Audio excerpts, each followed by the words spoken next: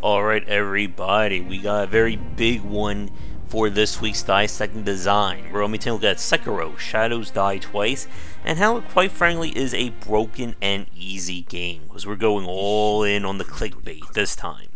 The footage that you're seeing is taken from a recorded play I did off stream, and I will be fast forwarding and maybe speeding things up if need be. Considering how speed dependent this game is, it we don't want to do too much in terms of speeding up the gameplay because I will mess with the timing. But let's begin with the basics. Sekiro Shadows Die Twice is the latest game from From Software, and this combines action with stealth gameplay. Some have equated to the Tenchu series and less of a Souls-like, and we may talk about that one later in this piece. But right now we are in the opening. And as with all From Software games, the tutorial itself is designed as its own segment in the game space. And we'll return to this actual area later on in the game, but it will be different. Right now we have no health whatsoever, and we actually can't attack.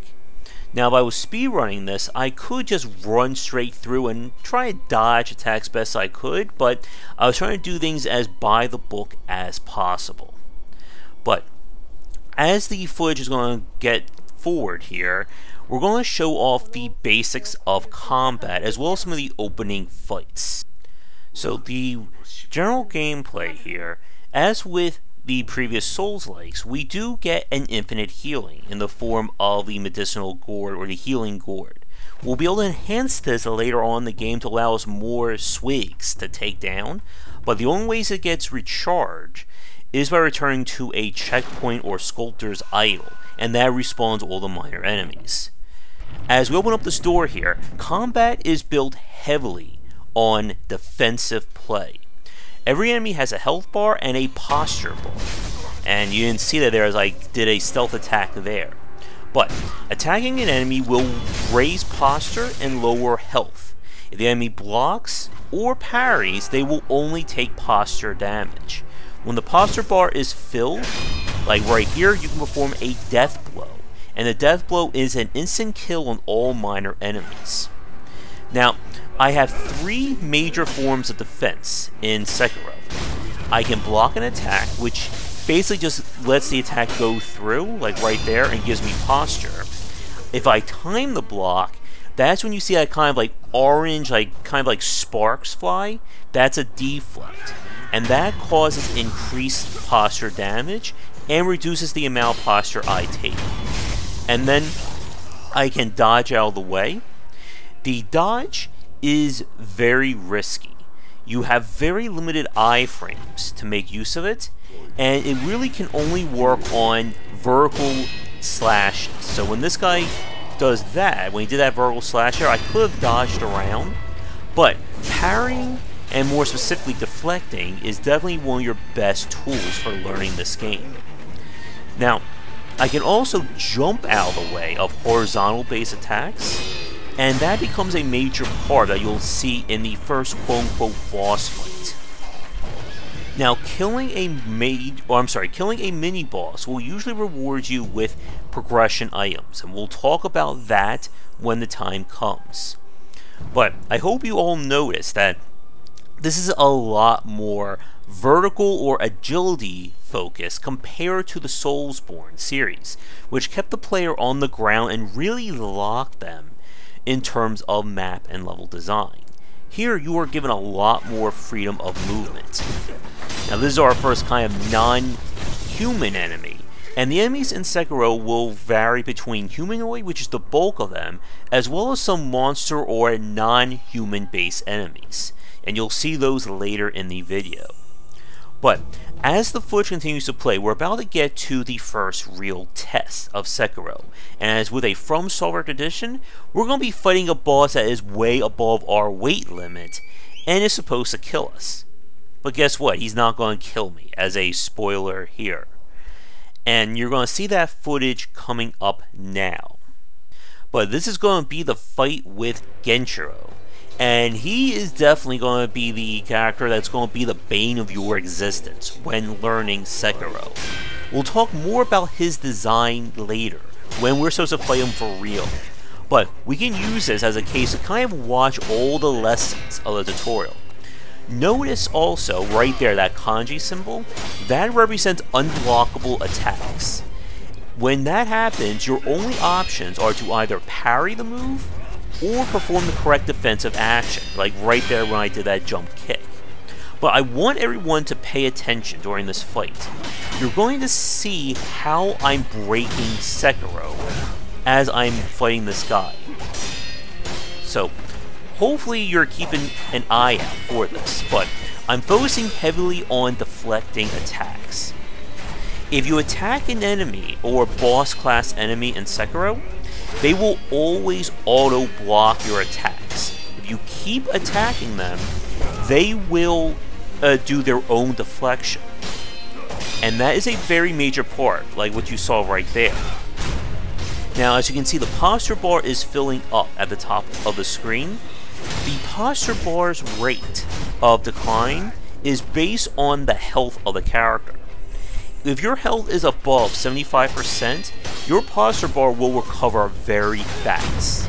When it's below 75 and even especially below 50, it will not recover anywhere near as fast. And that goes for Sekiro as well.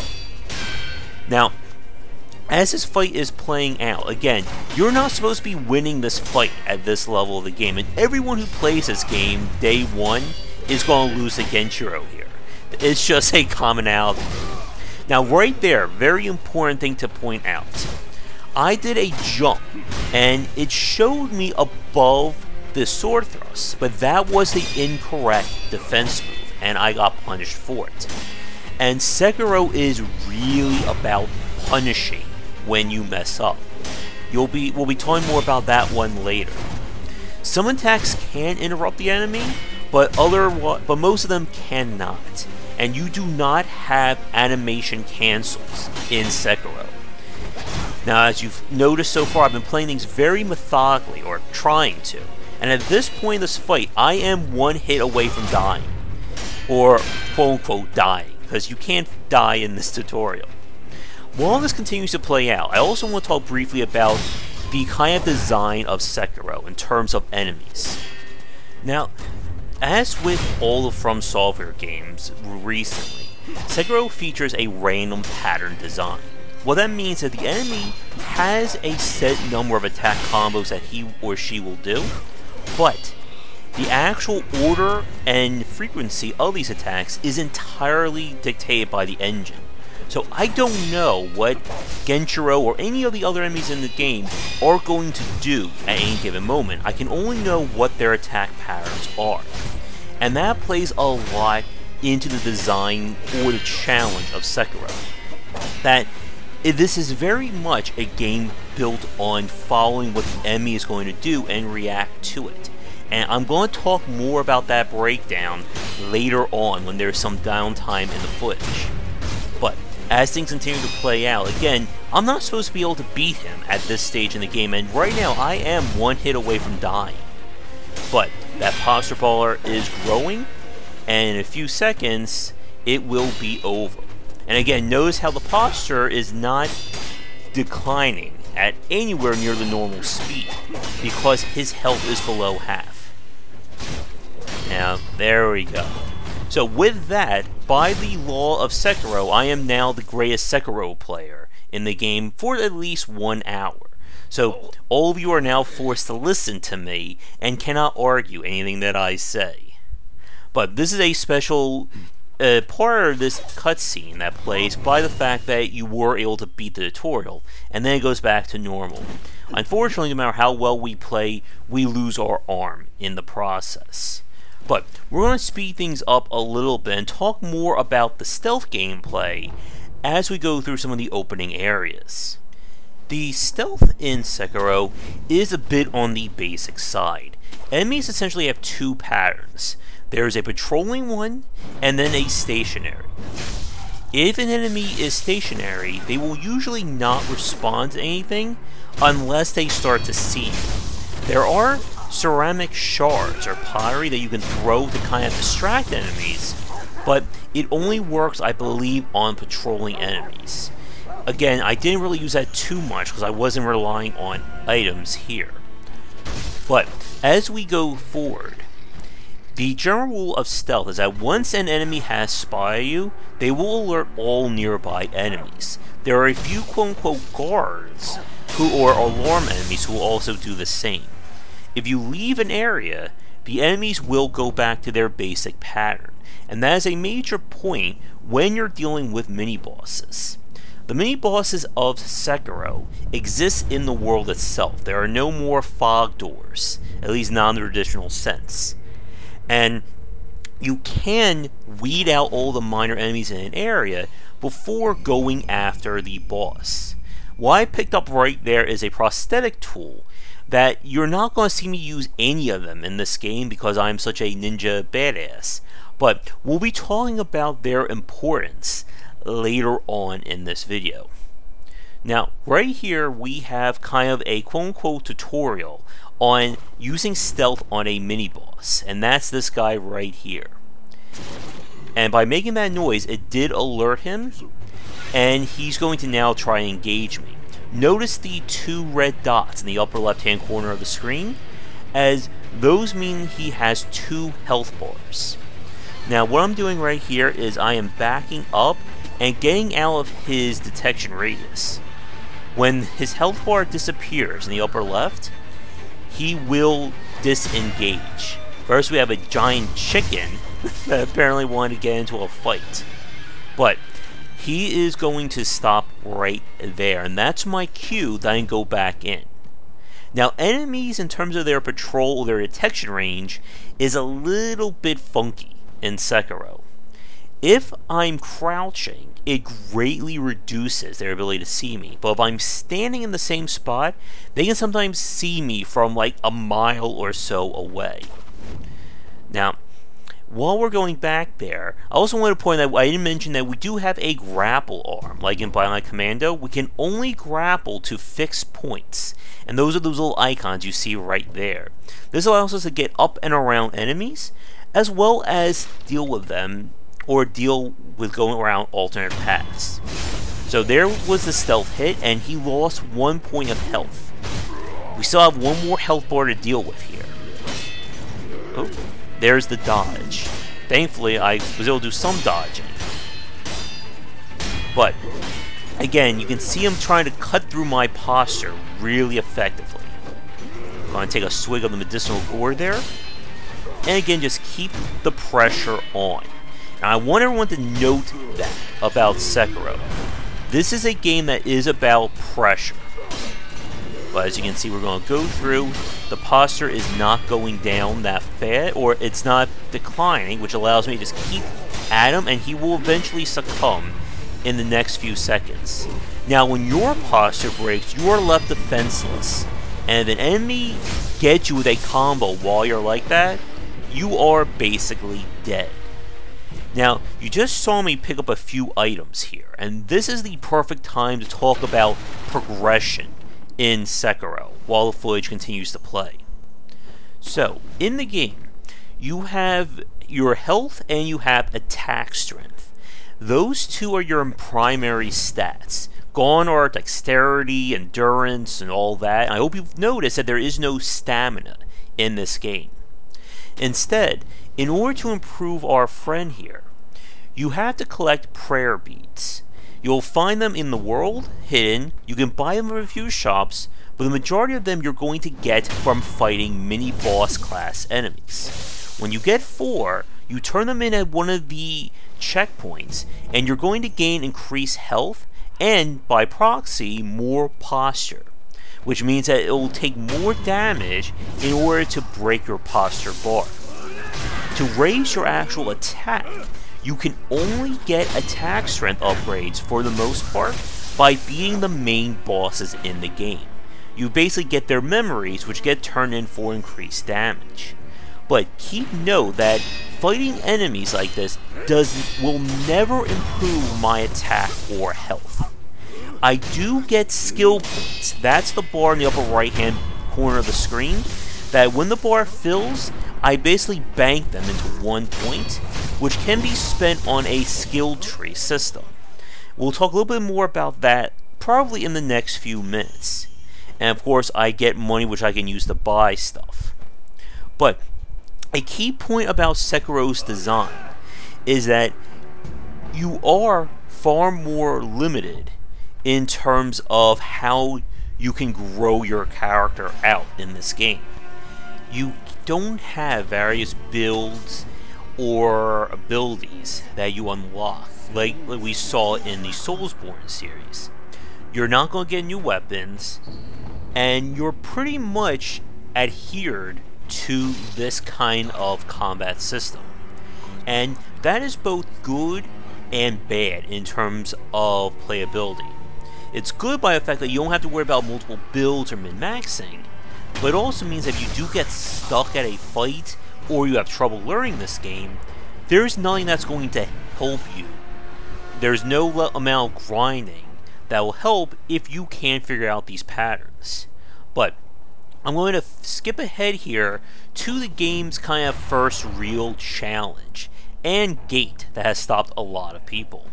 The Chain Ogre fight is your first non-humanoid battle, and this can be a pain to fight. First, I'm dealing with this guy right here very fast, and then I'm going to disengage from him in order to get a stealth death blow. While the footage plays out here, let's talk a little bit about why these fights are a lot different compared to fighting the regular humans of Sekiro. The Chain Ogre has so much posture that it's a lot harder to break compared to humanoid enemies. They also do more damage and makes blocking very dangerous. But the biggest threat that the Chain Ogre has are his grabs. And the grabs in Sekiro are very damaging. And they're very dangerous to avoid. And there's definitely some calls about hitbox detection when it comes to them and you'll see that here as this fight plays out. This is also where we get our first death in the game, and we'll talk about the dying and punishment systems as soon as that occurs. But, as with all these bosses, very basic patterns. And you can see right there that was kind of on the side and it's still connected. And that did, of course, a lot of damage. Oh, but sometimes you can get around things very, very well. But here is our first death. Or I should say, quote-unquote death, because we're not actually going to die here. And this is a good time, like I said, we're going to talk about resurrection and what it means to actually die in Sekiro. When you die in the game, you get resurrection orbs. Those are those little, that pink orb you saw above my health bar in the bottom left. These are essentially your lives for playing the game. If you die, and you still have a resurrection orb in play, you can come back to life. But you are then unable to resurrect unless you are able to kill an enemy or enough time has passed. Now that time I died without having resurrection, so this is officially considered a death. You can resurrect as many times as you want, and there are no punishments for it. You can return to a sculptor's idol to kind of bring back a resurrection token. Now you see in the bottom left we have two. But when you die for real, that's when the punishment mechanic of Sekiro comes into play. You will lose about half of your money or sen any percentage of your skill points. Now, the game features a recovery mechanic called Unseen Aid, and that allows you to not have that penalty, but it's a 30% chance by default. When it does happen, there is if you don't get the unseen aid, you lose those resources and there's nothing more you can do. When you die enough times in Sekiro, the Dragon Rot system comes into play. What happens is that several NPCs in the world will become sick. You will not be able to continue their ch quest chain until you fix them, and your unseen aid percentage rate goes down. The second you get one Dragon Rot, it drops from 30% to 15%, and then will only go down by more than that. And as I said in another video, I am not a fan of that system. In previous Souls-likes, as long as you made it back to the boss or your death point, you were able to revive or get your resources and nothing was lost. In this one, you do you do not get that opportunity. And it's just a punishment mechanic for people who are new. Now there's a little bit of some weird hitboxing going on there as well. And yes, enemies can get pretty unfair in terms of their hit detection, especially these larger enemies. And if you think this is painful, just wait until we get the Demon of Hatred at the end of this piece. But this guy is going to go down despite the number of body slams he is doing to uh, Sekiro's back here. And while this fight finishes up, as a quick note, the reason I'm calling him Sekiro and not Wolf is I'm going by Isshin's designation that he made later on in the game. But again, just picking and choosing my hits, and he is going to go down next 5 seconds. Boom. There we go. No more Chain Ogre, at least for right now.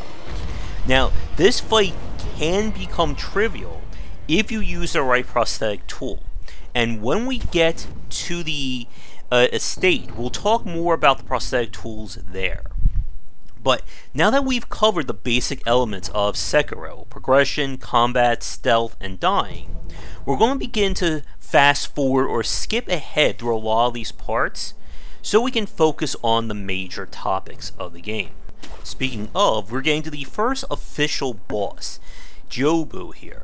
Now, the game is open to some extent in terms of where you can and can't go, but he is, I think, like the best first boss for you to deal with.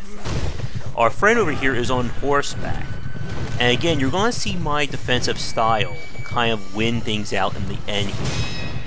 Getting those deflects in, and again, notice every time we deflect that it does raise or keep his posture bar growing.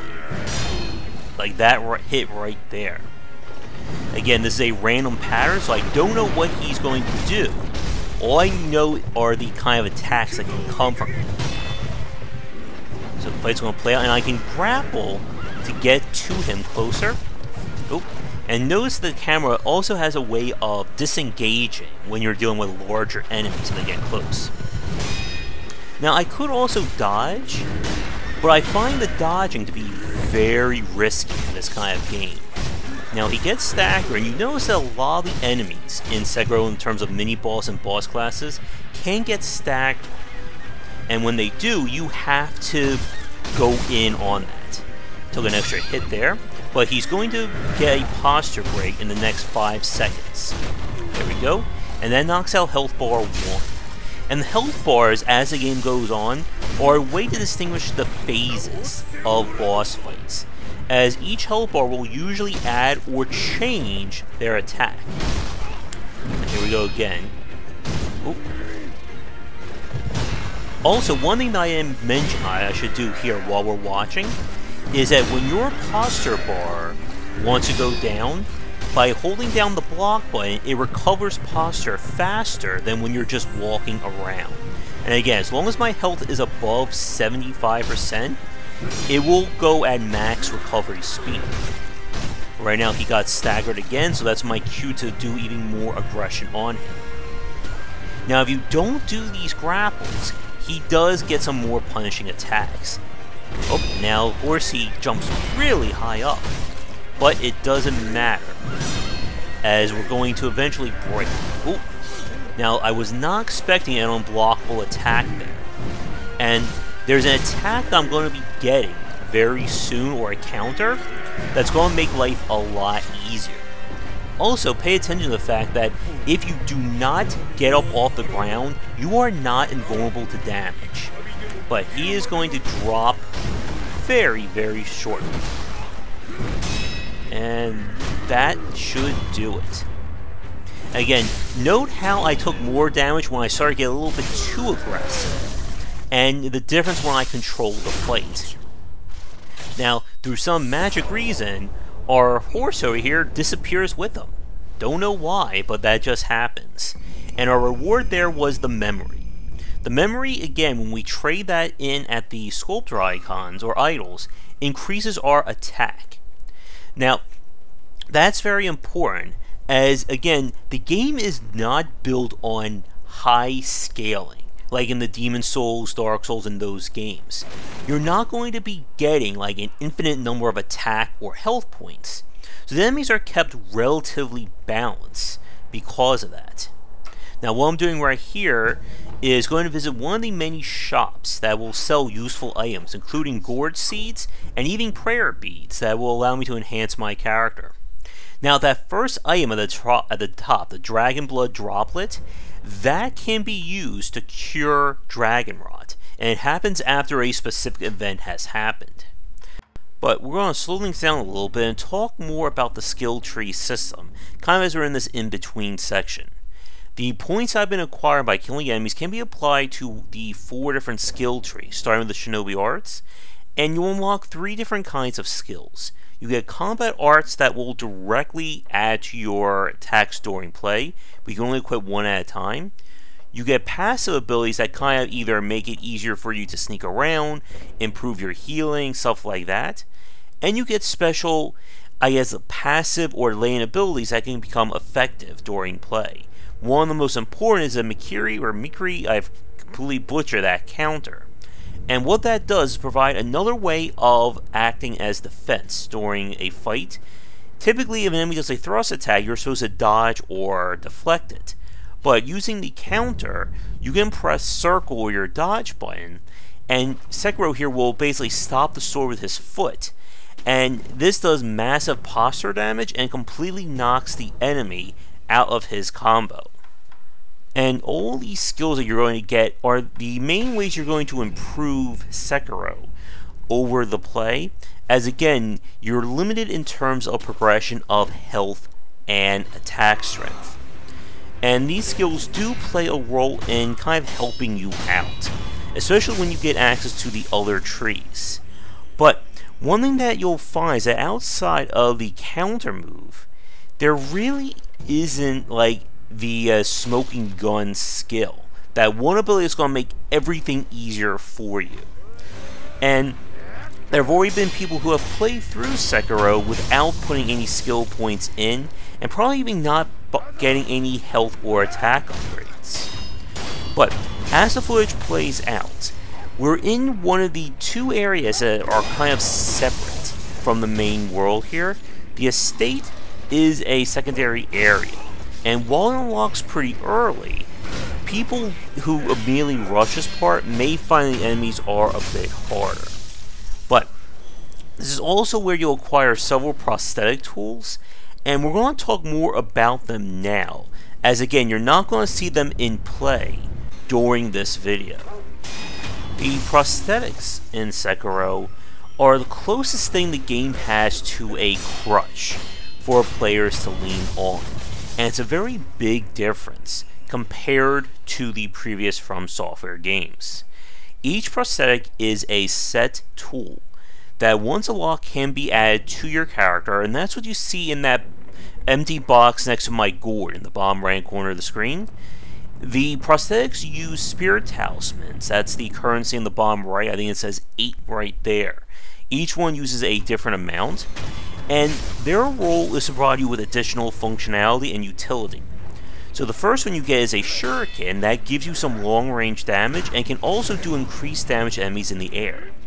But you'll also get prosthetics that are just direct counters to specific enemies or strategies. The axe will instantly destroy any shield or giant hat that will protect an enemy, while the firecrackers are perhaps the most OP item in the game which allow you to basically stagger any enemy and completely wreck beast type enemies when you use them. And it's, from what I've seen, is the best one for speedrunning. What I just picked up right there is the item that you take to the sculptor, the man who gives you your prosthetic arm, to then turn into the axe. Now, the prosthetic tools all have their entire skill tree built around them and you collect materials and other prosthetic tools to upgrade your ones going forward. And it's a fairly robust system. The problem is that, quite frankly, it's completely detrimental to you learning how to play this game. And why I didn't use any while I played through this run. Because again, this game is designed to be played a very specific way. And learning that, and the quicker you do, makes this game a lot easier. And again, it breaks the design. And I don't think the developers really did convey both the utility of the prosthetics as well as, again, the weakness of using them. Now, with that said, though, the firecrackers are probably your safest bet. You get them very early on, and they just work again in almost like 90% of the situations you're going to deal with. I think only like a few optional fights and beasts or monster type enemies are immune to them. But other than that, it is a very weird system to have in this game. In previous ones, again, if you were having trouble with a fight or specific situation, you could summon characters or other players to help you. Here you have to find those tools in the world. Like right there, those shield guys I just passed, if I used the axe, I could deal with them easily. Otherwise, they become a far lengthier fight due to the mechanics of the play. But, with that said, you're about to see the Mikiri counter in action, as it's going to be used against this spear type enemy, and it just really trivializes the fight. Now again, I could take this guy on normally, but it is so much quicker and safer to at least get that initial death blow. And most of the mini bosses you find in the map are designed around it. But right now I'm waiting for him to do the thrust, here it goes. And I wasn't close enough to safely do the counter. But let's watch here for a second. Now that was a sweep, and again, the enemies all have preset unblockables. Now there's the counter, and once you know what they are, it becomes very easy to counter. This guy goes down. And we're going to skip ahead to the second mini-boss fight for this section. And that is the, I guess, the drunk class enemy. Several of the mini-bosses do repeat themselves over the course of play, and this guy is certainly no exception. He has a very wide and erratic pattern, but he also leaves himself open when he takes a swig of his drink there, which he can then spit out as poison or add to his sword. Now there's a character who helps you for this one fight that you can go and get aid, but I didn't really need it. So I'm heading out into the open here because it's safer to fight enemies in the wider areas where you can dodge around and run around them. let's watch here for a second. Oh, and he got me with a 180 grab. Not good. The lure is that this guy's a former sumo wrestler. But we're not going to get help. We're just going to take him out mono ia sumo here. There's the spit. And you do not get an easy access to poison removal just yet in the game, so you do have to be careful about that. Now, it would probably have been better to dodge around now that time, again, grabs are very weird in terms of their hitboxes. But with the additional damage I'm doing from fighting earlier, he shouldn't be that bad of a fight. Oh. I did a dodge and then I kind of uh, doubled there. Another thing you'll find is that many enemies who have punches, kicks, or push attacks tend to knock you out of your block. But yeah, now this time we do the correct move, and then I jump back in. And yeah, I just found it very risky to do dodges in this game, and partly again because of how the enemy tracks you. But he will be going down either by health or by posture in the next few seconds. And then after this, we then turn to the first, I think, real roadblock a lot of people have with Sekiro, and that is the Lady Butterfly fight. but say goodbye to our drunk friend here. But Lady Butterfly is a massive challenge and difficulty spike for new players. She's the first real, I would say, humanoid boss that players will run into. And her design is where you really have to start to learn the rules of Sekiro. Her posture recovers way too fast normally for you to break, so you have to do damage to her health. So here I'm, again, trying to play very safe, going for either deflects or dodges. Whenever you safely dodge an enemy's attack, you are given free reign to get a free counter slash. Let's watch for a few seconds. again, just playing a cool, letting my posture recover. That grab again is a very weird hitbox. Ooh. And I misread that there. That was a sweep. But don't worry, we do deal with her here. Now that's an attack we can dodge and then counter. And again, as enemies' health goes down, they will take more posture damage or it will be hard for them to recover it. Right now, again, I'm just playing it very carefully, going in for attacks. And again, note how mechanical this fight is. Now, with the increased damage I'm doing from having Gyoubu's memories, that does help this out a lot. Again, just playing it very carefully, not losing my cool. If I have the shurikens, they do counter her while she's in the air. But we took her down. The fight is over. Victory swig there. But wait. Nope. There is a phase 2, and for many people it took hours just to get through phase 1. Now here's a trick. The more aggressive you are at the start here, you can stop her from going into our second phase, at least for a few seconds. Note those little flying things. They will always do damage to you, but you can block or parry to reduce it. Now there's the jump kick again counter. Now by now she should have gone through that move, and again I delayed that quite a bit. Sadly though, because her posture isn't below 50, it's going to recover very fast. You can use snap seeds to destroy those illusions, or you can just run around. I will be making use of the snap seeds for a later boss. And again, I'm just not taking any chances here. If you don't destroy the illusions, they will do this attack. And as long as you just get around pillar, you're fine. Another thing that I didn't take note of, I won't bring out here, is that you can run while you're locked onto an enemy, and you can run just out of anything. It's a very effective way to make distance and avoid a lot of attacks. Again. And trying to play it cool. Goes again, dodge, and again, the camera has this tendency to deselect a character when they're moving around really fast, and it is very annoying, and makes this fight a little bit harder as well.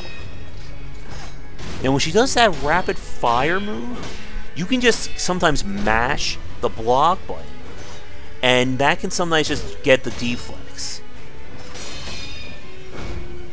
I could have dodged that kick there, but again, I was playing this more cautiously. But she is going down, and Lady Butterfly is dead for real now. And with that, the estate is basically finished for this point in the game. As we move forward here, we come to the next boss, and that's the Blazing Bull. This is a required fight, and it's one of the more annoying ones, again, because of how the inhuman enemies kind of break the normal rules of Sekiro. Now, this fight is trivialized by having the firecrackers, but again, because I'm a badass ninja, I didn't take them on here. Now, supposedly, you can parry or deflect when he charges at you, and that may stun him. But due to the weird hitbox of his uh, bale of hay uh, there, it's very risky to do. But usually the best strategy is to get him in a corner and kind of force his pattern into repeating the same attack. But let's watch here for a minute. Now there's a hidden bullfight later in the game that I did not fight in this playthrough because I didn't know about it. But I found out after. Oh, got staggered for a second. And that was some really good damage. Now his posture, like with most of the monstrous class enemies, does recover a bit slower than the humans, but it still does, and won't stop until his health gets to about half. Again, there was another stagger. You have to really pay attention to the animations. We don't care about being burned. But what makes this fight very hard, again, is how unpredictable this guy can be, unless you force the pattern using firecrackers. But, again, we're not doing that here. Note again how much slower his posture is recovering now that the health is below half. When his health gets to about, I think it's like a 16th or a 32 of it, the bar left, he will kind of stagger himself. The first time I fought the bull, I also didn't use the firecrackers. But yeah, this is like the best way to avoid him. You can just like stay to the side, keep dodging around, and in a few more hits, he will automatically get staggered. But if you can keep him in the corner, it makes it a lot easier to control. Does, again, the same kind of attacks. I think in the next three hits, he's going to go down. Am I right? Oh, nope. There we go. Now he's going to bang the wall. and you're no threat once he does that and the bull goes down.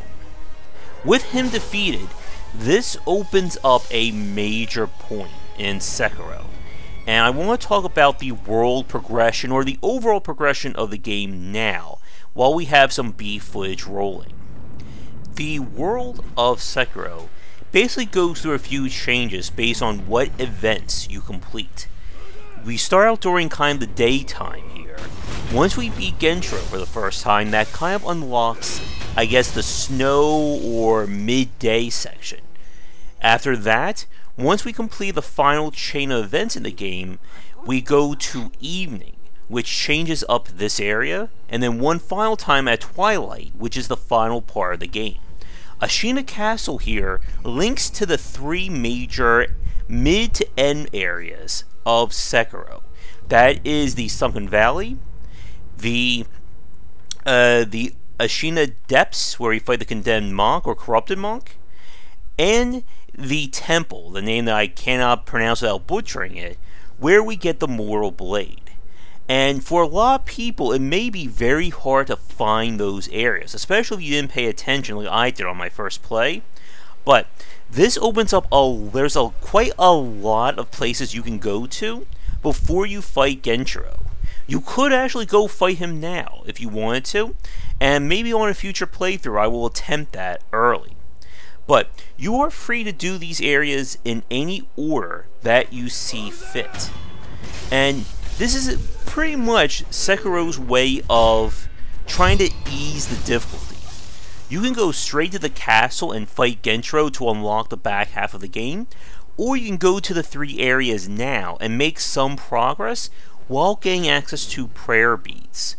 Interestingly, there are no additional boss class enemies that you can fight before Genichiro. The rest of the enemies that show up are mini boss varieties. But with that said though, once you know what you're doing, you can speed through very quickly. Now with that said, we're going to fast forward a little bit here and show off one of the more infamous mini bosses that has struggled or plagued a lot of players. Seven Spears here is a mini boss that shows up early in the game, but can easily wreck new players due to the amount of damage, both in terms of physical or vitality and posture. This is the fight that teaches you how to do the Mikiri counter or die trying. And it's very risky to fight him normally because of the amount of damage he puts out.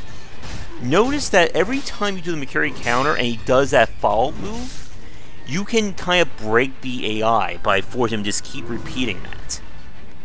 But this is a guy that, again, has wrecked a lot of people. And notice I'm being a lot more agile around him. Oh, here he goes. Trying to let my posture recover. And I'm trying to bait out his thrust attacks because that is the best way to kind of wreck him. Again try to get a few hits. He should be going for a thrust any second now. Now when he does those sweeps, you can leap over, but unless you completely know every animation that he does, it's very risky. And again, this fight punishes you if you do not perform the right defense. But yeah, you're going to get good at those counters with this fight, or you're going to be in for a lot of trouble. And notice that we have his posture bar relatively high, and he hasn't even dropped below half health yet.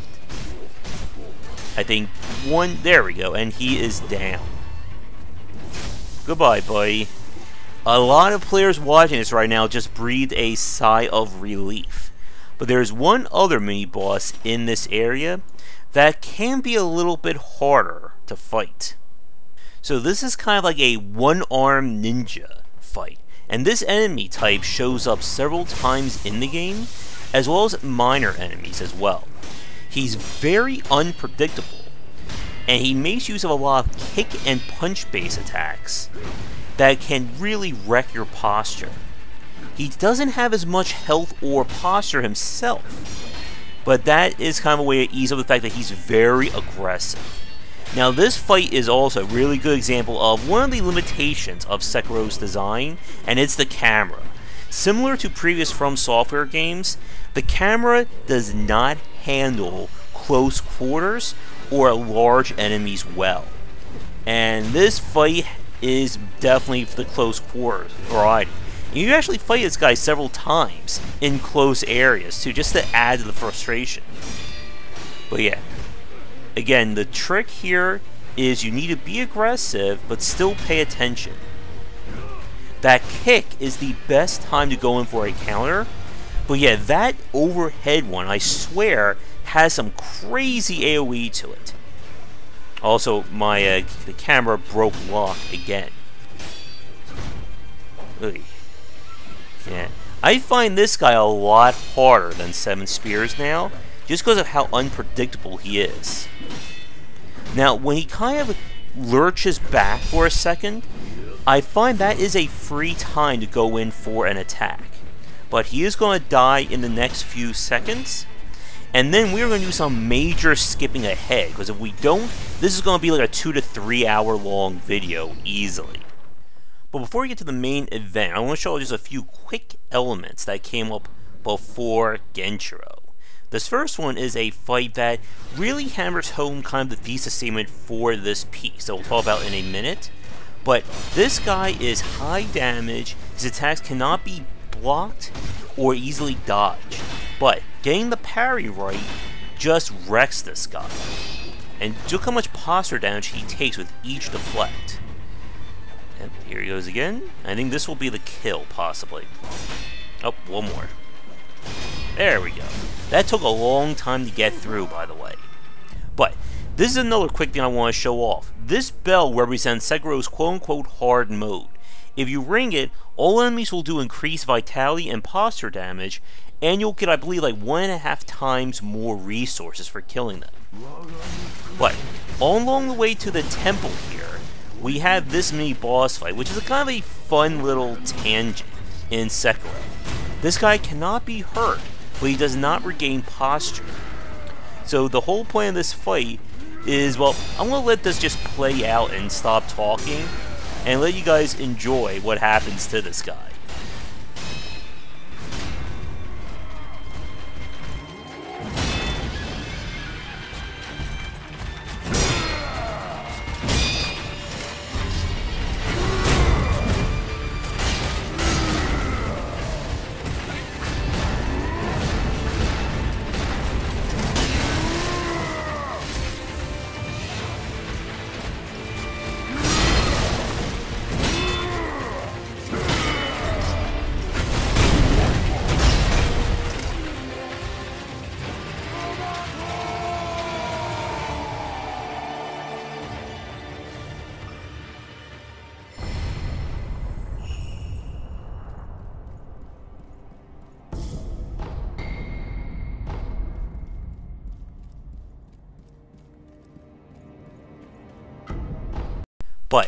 It is time for the main event here. here, not, and we're going to get serious.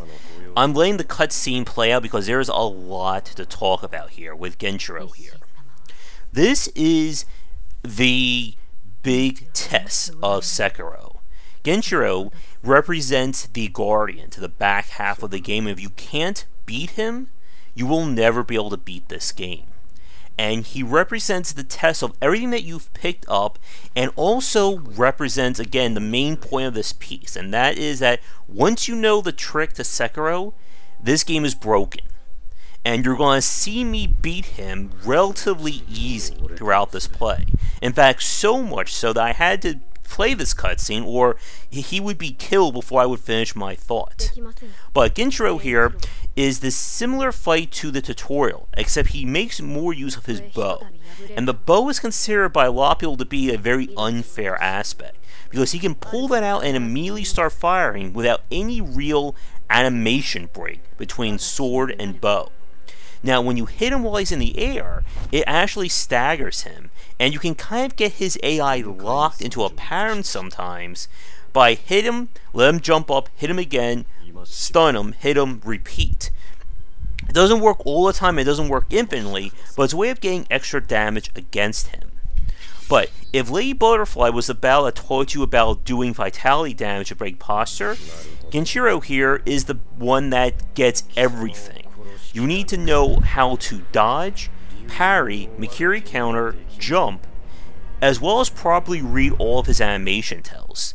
Most importantly, I guess, as a spoiler for the spoiler video, this is the first three-phase boss fight. There's that bow of his. But again, watch how I try to play things very evenly, or very cool. Keeping it close to him, only hitting him not enough to get a deflect, but letting him do the majority of the work. When he does that jump up in the air and slam down maneuver, he can combo that into different unbreakable attacks. And there's, oh, and that's me actually parrying instead of uh, doing the counter. And there's something, as I was about to say, very fascinating about Sekiro's random pattern design that I don't think anyone else has really picked up on and it has to do with how the enemy reads the player. I don't know if it happened during this fight. I'm actually watching this as I'm recording it. But it did come up during the Demon of Hatred fight. So if it doesn't show up here, I'll comment on it there. But again, this is considered to be one of the best fights in Sekiro, and I would definitely rank it up there. Probably my number one favorite would be Isshin the Sword Saint, and that is the final battle of the game's real ending. But, again, for this fight, it is just simply following those patterns. Oh, there he goes. And I could have done more damage there. Sometimes when you deflect an attack, it stuns him or stops him from attacking for a few seconds. Now the jump kick is very unreliable sometimes, I think on smaller enemies. Oh, there he goes again doing this pattern. Now, if I was better at deflecting, I could have gone more. I could have just ran off. There he goes. And again, note how I'm reading I'm playing these very cautiously. And I'm letting him basically build up his posture instead of going all out. And I want you to keep that in the back of your mind, because when this battle is done, we're going to spend a few minutes talking finally about why this game is broken. And I hope all of you have been paying attention to how these battles have been playing out, because that really explains the thesis for this piece. But while this cutscene begins to play out, while I was fighting Genichiro here, or at least during his first phase, again, I was doing my best to let him do more of the work, and if you notice, I didn't attack him into getting him to auto deflect. Because I find, again, that is how you break some of these enemy AIs. But right now he's going to his third and final phase, where he basically changed up his pattern, and we get introduced to a new mechanic in the form of lightning. And this was a complaint some people I've spoken to had, that the lightning is introduced and is immediately tested without any real chance of practice. It's a trial by fire, but with lightning. if that makes sense. So here we go. He's a lot faster, but his posture breaks a lot easier in this one. Now, there we go. Another parry. So he's going to jump. And this is the lightning counter. If you take the lightning hit while you're in the air and then attack as you drop down, you will redirect the lightning back at him, causing massive damage. Also want you to pay note of the fact that technically I have not gotten hit by any one of his attacks this entire round. That's just another bit of some badassness, I guess, for this play.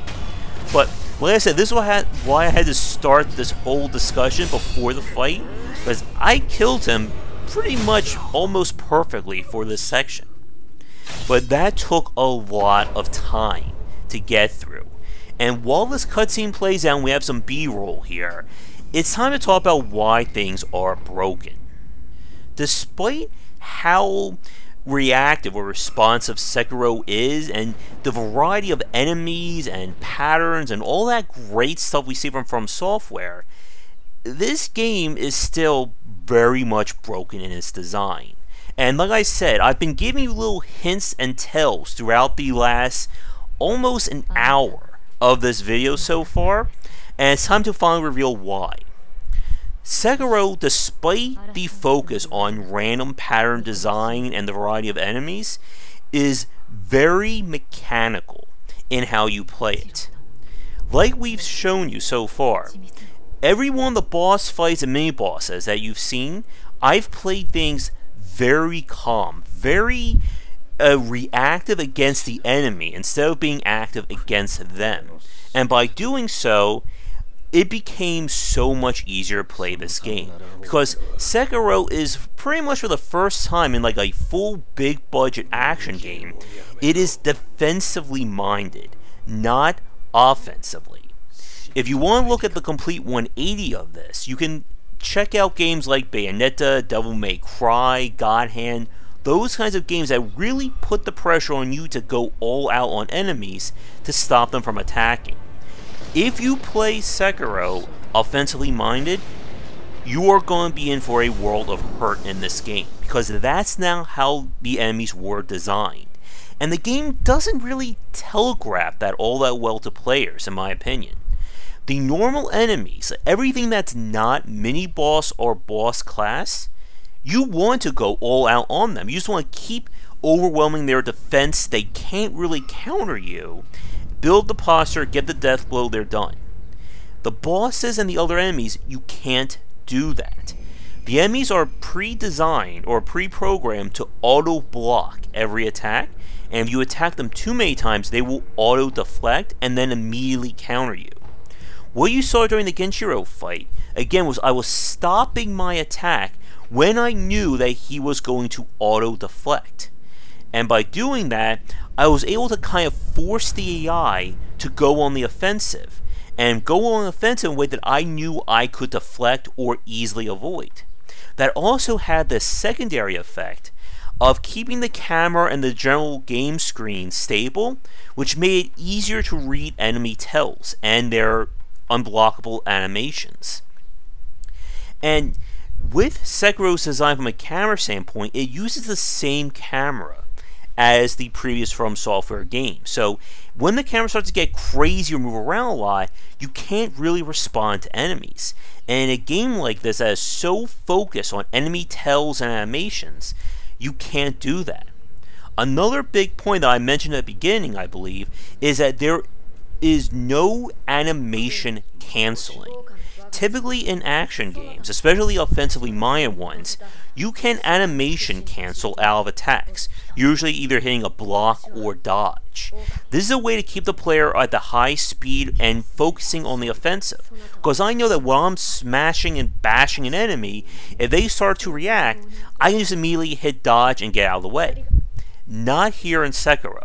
If I'm in the middle of an attack, I cannot cancel out of it and the enemy starts an unblockable or an uninterruptible attack, I am going to get hit and punished. And those are kind of the two codas of Sekiro. You are going to be punished for making mistakes, and by performing things right, you are going to be rewarded so well that, again, it makes the game trivial. The Genichiro fight that you just saw there, that took hours of learning his animations and, again, figuring out what the game wanted you to do. The same thing with that blue Ashina Elite guy and the Lady Butterfly before that. That if you try to play Sekiro your own way and not the game's way, you're going to be in for a rough time. And this is why, for a lot of these boss encounters, that if you have to get the boss's health down, or even kill the boss's health bar through vitality damage, not posture, then you are not doing things correct. Even with some of the layer bosses that you're going to see in this video, once I decide to slow things down, and again, focus on posture and reacting to the enemy, the fights went a lot smoother. And this is another reason why I said earlier that the prosthetic upgrades are pretty much a crutch for players. I was able to beat every boss in this game, including the optional super hard fights, without needing those prosthetic tools. Could I make the game easier? Oh, you bet I could. But I was able to do it without it. One as a show of proof, and again, because I knew how to handle these fights. And Sekiro doesn't go beyond that in terms of its design. The game, similar to other From Software titles, has a very sharp difficulty curve at the beginning, but then does not get higher from there. And that's a key limitation of this game or this design. Once you know the trick, everything else just falls into place. And the game doesn't do anything else outside of the inhuman fights to challenge the player. And it goes back to a very important point about enemy design. That it's all about what the player's options are. You could design an action game that procedurally generates millions of enemies, has hundreds of thousands of animations and attacks and hitboxes. But if I only have two or three legitimate and successful tactics to fight them, then all you've done is design two or three enemies. That's it. And Sekiro is proof positive of that design. I know how to handle every enemy in Sekiro with my focus and my uh, measured play. Doesn't matter what the enemy is, doesn't matter how many health bars they have or their attack combos, I know how to fight them. And that keeps true from the first enemy all the way to the end with the exception of the Inhuman characters. And like I said, we're going to be spending a lot of time talking about those limitations at the end of the video when we get to the Demon of Hatred fight. But as I've been talking, we have officially passed the halfway point of, of Sekiro here. And from here, it's basically cleaning house in the three main areas and then moving on to the final quarter of the game. But with all this progress that we've done so far, we're going to take a quick Patreon and sponsor break, and we'll be right back as we move, or as I should say, we're going to blaze through the rest of the game next. So we're going to fast forward here to the first of the three major bosses that occur after Genichiro, and that is the monkey fight. The second, I guess, I guess non-traditional boss in Sekiro. We have to chase down these four monkeys. Each one will detect us a different way. And our only option is to get stealth kills or distract them. The green monkey is the hardest unless you can get him over here and ring this bell. Which he is the monkey, I guess, that hears. So we just kind of deafen him, and then we go for the kill. Goodbye, monkey. As the monkeys die, their ghosts will come back to try and haunt you and if they hit you, they will cause terror. Terror is a build-up that when the meter fills up is an instant kill, and is predominantly featured on ghosts or undead class enemies, which I did not fight all that much during this play, but I have some footage that we'll go over when we get there. But each monkey is built around basically a different way of getting to them, and it's a kind of like a nice old diversion. This battle can either be very long or very short, depending upon your luck and the order in which you go after them. So I got very lucky. This guy was just like hanging around here. But now the ghosts are going to come and try and kill me. And here they are.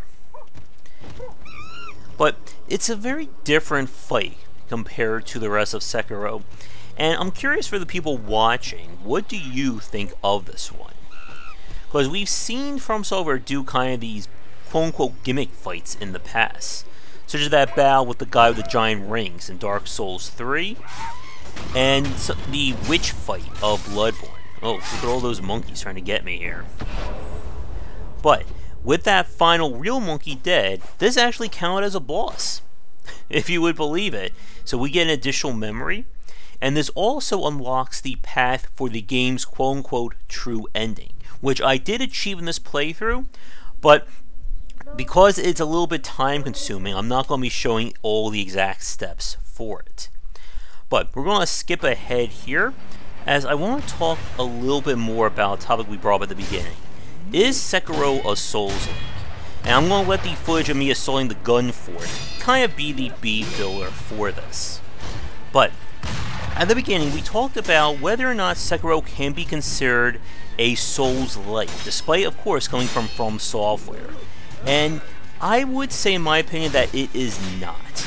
Sekiro does not have the same kind of tells or progression curve that a normal Souls-like has. Like we said, a major part of the Souls-like formula is having multiple ways of getting through a challenge, while still providing the player with a higher than normal difficulty curve focused on action RPG elements. There's simply not enough RPG progression, or I guess crutch for the player to use, in order to get past the challenges here. This is predominantly an action game first.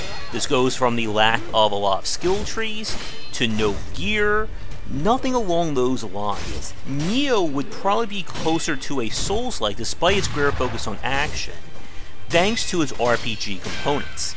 And when we talk about RPG design like that, it is both a positive and a negative depending upon the design. It can be good by the fact that it provides players with another means of progressing and helping them their skill isn't good enough, but it also adds a layer of complexity, having to look through all kinds of gear, knowing min-max guides, things like that. And Sekiro does not have that. And as we've said before, if you are skilled enough at this game, you don't need to deal with anything else. And this may be perhaps the easiest Soulsborne game, or I should say not Soulsborne game, that you can possibly do like either a Deathless or a low upgrade run once you know what you're doing in the game. But again, that is all built on your knowledge. If you do not get good or figure out, again, what we've talked about before in terms of combat, you will not be able to beat Sekiro, as the game does not allow for anything but what the developers want you to play. But we're going to skip ahead here. I'm going to ignore the Caterpillar or the Long Arms fight because it's just a very basic battle, just built purely on deflection. And we're going to get to the next big boss, aka, I guess, Angrier King Kong. The Guardian Ape fight is the other very big non-humanoid boss that you're going to fight in Sekiro. And again, it represents a lot of the limitations of the system with its greater focus on hand-to-hand -hand or sword-to-sword -sword play. But here we go. This guy has a lot of very wide, very erratic attacks. And it leaves him open. Now, going back to the importance of the prosthetic tools, the firecracker and the spear directly counter him in different ways. Here we go. He just threw some poop at me. And again, we want to do enough damage to stagger him. And he should be getting one stagger any second now. And he's going to do his little, like, back rub here. And again, notice how long the animations are and the tells that go into them. This is a battle, like with all the non-humanoid fights, that you have to be the one who's active against them You can't just stand back and let posture build up. It doesn't work.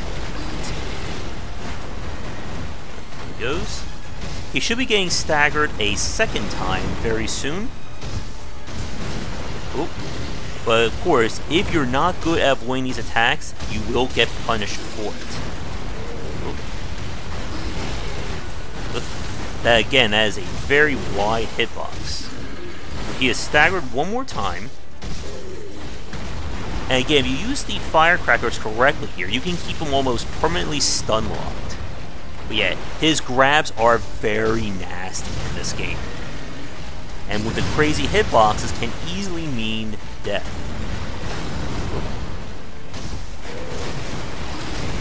Look at that posture build up too. And you'll find that most of the non-humanoid enemies that you just want to avoid their attacks whenever possible. Now he's staggered once more. Oh, never mind. Sometimes it's hard to tell. But he's about to go down. Getting a little cocky here. There we go. Right in the butt, as you just saw. And the Guardian Ape is killed. Very stylish. I must say. We'll revel in this victory for a second, folks. wonder why I'm keep attacking his body. I don't know. Oh. There we go. And the twist begins as Garni comes back in this form.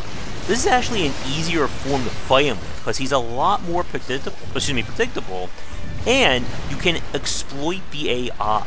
And you'll see me do that very quickly. Wait for it.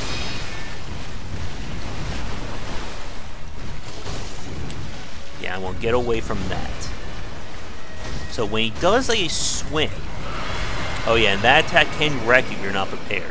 Well, he's going to do a three-hit swing very shortly, and if I can deflect it will set him up for a massive counter. And it's almost like 100% of the time exploitable too, right here.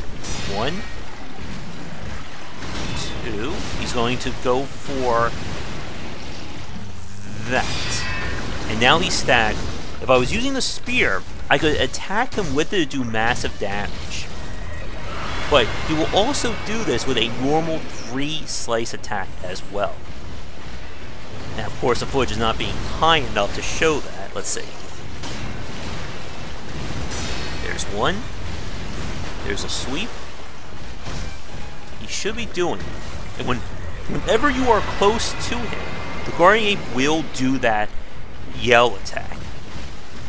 And again, notice how easy it can be to kind of force the eye into doing certain attacks. This is the best one. When you parry, that is a guaranteed stun on the Guardian Ape and leaves him vulnerable to a lot of damage. Now he should be going at it again. But with my reactive play here, this fight was not that bad. Let's get in. You can also, if you pay attention, kind of spot when the game decides what attack phase to do next. There he goes. As long as you get that last one parry, he will do that upright slam that you can then stun him. Now you should go for a scream. Yep. And again, it's very easy once you play Sekiro enough to spot what animations they'll do and plan around that, or what attacks. So I was not expecting a stun there. Now there are items you can use to get rid of terror, but unless you're really fighting the ghost class enemies, don't really have to worry about it. Now that time I just missed all the parries. Let's see. But I think the next attack cycle or the second one after that, the Guardian Ape will go down. There's our sweep.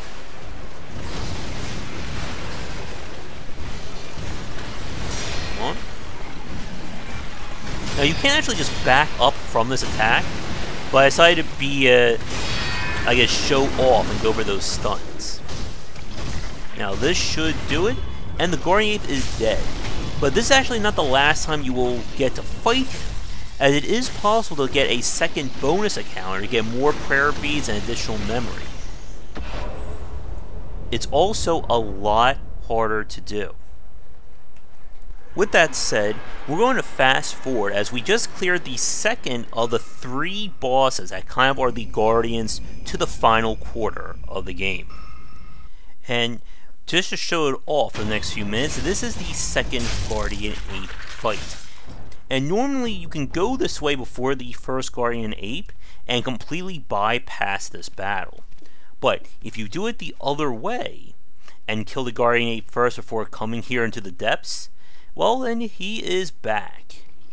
He's just waiting there for me, I guess. No way to unfortunately get a backstab in on him here. But this first part of this fight plays out exactly as the final phase that we just showed off. Here I'm making use of my badass parrying skills. I don't know if he takes more damage or more parrying at this stage or not, but he should be going for a yellow.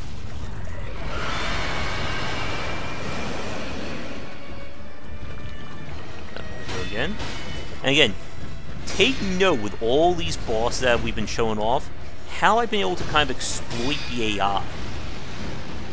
Boom. I don't think he's going to get the death blow here, but may have to one more attack pattern. Oh, never mind. That was such a badass ninja shinobi that we got. So, the fight looks simple so far, right? And then this happens. He gets a friend. And she is going to make this fight a whole lot harder. As just like in any From Software game, anytime there are ads, the fights become immeasurably more difficult. Now, if I had firecrackers, they would directly counter this. But again, I was not using prosthetic tools for this play. I got very, very lucky during this part.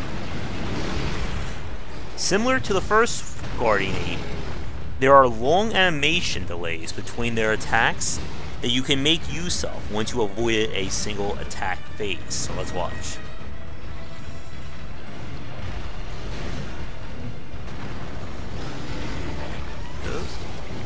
And then, unfortunately, the mate came in to stop me. But right here, this was a good one. Notice how much damage I'm doing to the 8. You can see the health bar at the top there. It does not have a lot. But it's just the added fight that adds to this. And then I decided to just go really all in to try and kill her. Almost got her. Again, once she goes down, things get a lot easier. There we go. And after that, we're just back to fighting the big guy. But because this fight plays out the same exact way as the last one, I'm going to cut the footage here. If you have the Mortal Blade or come back with it, you can get a bonus ninjutsu power. But we're going to move forward here and get to the Ashina Depths and the village where we fight the corrupted monk. So this is a quick little interlude before the corrupted monk fight where you have to deal with uh, this lady here. I'm pretty sure there must be more to the side quest, and as with previous From Software games, there are a lot of these little crazy quests around. But We'll just quickly go over this fight again. As always, or as with the rest of this video, you can see how taking a more measured approach really trivializes a lot of the combat. But while this is going, this is a quick time to talk briefly about the New Game Plus feature, and what Sekiro does to make things a little bit harder for the player. When you beat the game, you will get to be able to restart it with all your previous stats and options, and the enemies have their own stats raised up. But the game also unlocks an additional feature that you can turn on at the start that removes your ability to withstand damage when you block. As you see, normally when we block in this game, you do not take any penalty from it unless your posture breaks. But by giving basically back the charm that you get start out the game with, you will now take block damage, basically forcing you to either parry or dodge attacks. And that is showing a very interesting way to play this game. But we'll let the footage quickly play out as she is almost done. And again, you can see how the pattern can be very exploited in terms of waiting for her to do that unblockable and then following up with a jump kick. But uh, the next second or two, she'll go down and then we'll cut straight to the corrupted monk fight and talk more about that.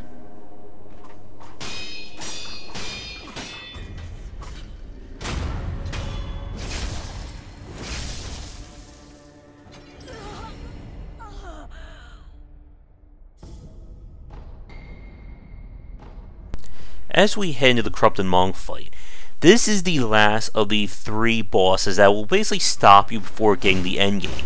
And this can be a tough fight for new players, as the monk here recovers posture very fast, will auto-resist all damage unless it is done away from her actual block, and this has some very nasty patterns to begin with. But as with before, the key to this fight is going to be getting in close and just basically again explain these patterns. So let's watch here. And this is another very pattern heavy memorization fight. Now she should be doing a thrust any second now. Should be coming. And that is your best time to do the Mikiri counter as well. But know how we're not really doing all that much to her yet. Now she can also be very punishing if you get too far away with her jumps. There we go. Now, speedrunners are going to make use of the snap seeds that will stun and do damage to her. And I'm going to be using that myself as this fight gets near the end. But again, as you can see, I'm keeping the pressure on, staying close, and forcing the posture to go up. You can also do this as a hit and run fight, but it takes a very long time, believe me, or believe you me that.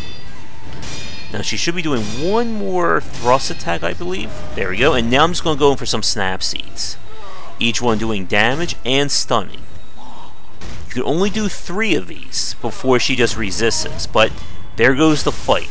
Again, a so much easier than what you do normally with the hit and run, or what people would do when they first play.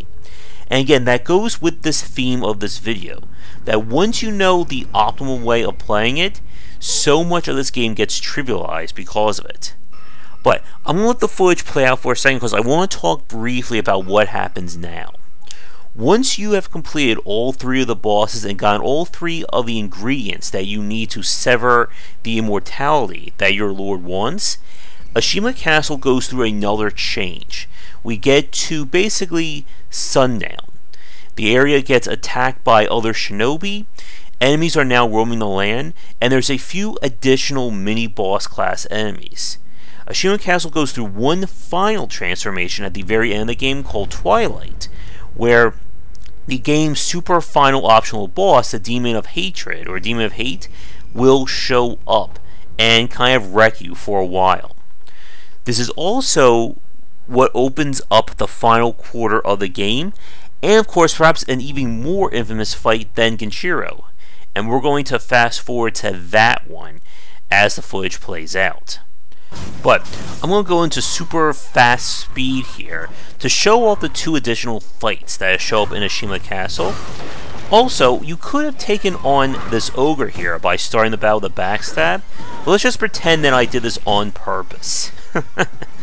but Chain Ogre is the same exact fight as the first one, but he does more damage to it. And for some reason, I swear that when I play some of these fights, that my dodge doesn't give me as many iframes as other people. Like, I've watched other people fight some of these enemies, and they can actually dodge through, given like the same amount of time. But we'll let him quickly die here, or I quickly die here, and we're going to go to the other fight as this footage speeds up and that is this guy here, who shows up near where you go into the valley of the snake. And if you let him stay alone too long after you get the first death blow, he gets supercharged, which I almost died because of not realizing that here. And this guy is, well, actually the prelude to yet another one of these guys that shows up in Ashina Castle, where we fought that blue uh, elite, Ashina Elite, who does the heavy parry. And we're not going to show this whole fight, but with these enemies taken care of, that basically handles all the new mini bosses that show up at this stage of the Shima Castle. But it is now time to talk about perhaps the fight even more notorious than dealing with Genichiro, and that is the Owl fight. The final challenge before you get to the near the end of Sekiro is the Owl Shinobi, or the Great Shinobi Battle. And this can be a very tough fight if you don't know what to expect. He has a variety of moves that you have to account for, and he can also interrupt his patterns based on what you're doing. He also has that little smoke ball that can disable your ability to heal. But whenever he does that two shuriken throw, that's a safe time to go in. As before, being measured and staying close is definitely your best strategy for dealing damage. He doesn't have a lot of health, especially if you've been upgrading your attack at this point. But you just have to get in close, and he can be very punishing when he approaches from mid to long range. Let's see. Oh, finally got the dodge to work there. And again, getting those punishes are very important for your survival. I've seen people kind of attack through him when he does that, and that can help as well. Now, this is where I started learning again about why the measure approach does work, because if you basically hit him into the point where he will parry, he will do his own firecracker slash attack that can do a lot of damage as well as build posture. But, as he continues to go here, we're just going to watch and let him go down to phase 2 now. But as the footage continues to play out, hope everyone's noticing why this fight is so much more annoying than Genichiro. Owl here knows to keep his distance and thereby allow his posture to recover. And again, a lot of the boss fights in Sekiro are really designed to punish you if you play it defensively. And in a fight like this, you're kind of forced to do that by the fact he keeps backing up, forcing you to re-engage him. Once you get in close range, it's a lot easier to deal with, but he loves to do that kick. Note those longer combo strings he does as well, as he will do those when he approaches you from mid to long range. But this form should be just about done, and you'll see what he does into phase 2.